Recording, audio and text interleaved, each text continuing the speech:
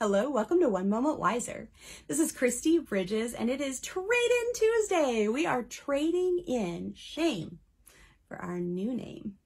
You know, in sixth grade, a classmate sat at the other end of the lunch table calling me names for like two weeks. I returned the favor until one day I cracked and ran to the bathroom crying.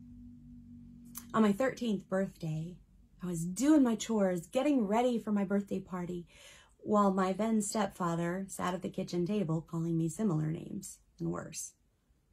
I finally snapped, retorted back, and he canceled my slumber party. When people label us, we might fight back at first and then find ourselves living up to what we've been called. We figure we can't stop their insults, so we act like they're not really that bad and live in defiance as I grew up, I found myself acting out those names, vacillating between shame and the need for validation. I did some destructive stuff, but I don't live in shame anymore. In Revelation 2:17, Jesus says, "I will give to each one a white stone, and on the stone will be engraved a new name that no one understands except the one who receives it."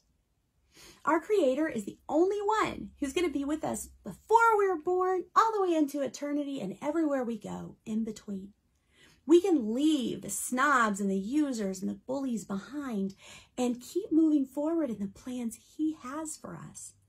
He'll uncover our true identities, like layers of one Christmas gift wrapped around another, until at last we pull out a white stone that truly describes us.